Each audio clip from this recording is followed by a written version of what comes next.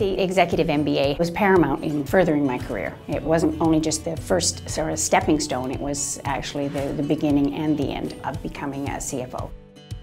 It is a dizzying height when you know that everybody is depending on you to come forth with the information and it's got to be right.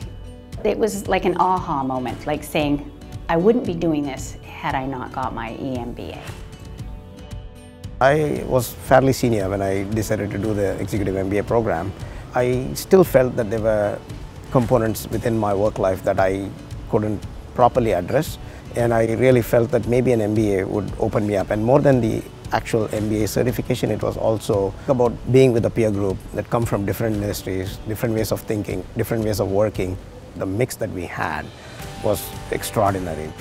It does give you the tools so that you can adapt to the different crises that arrive in, in management. It enhanced my work world tremendously. It really did.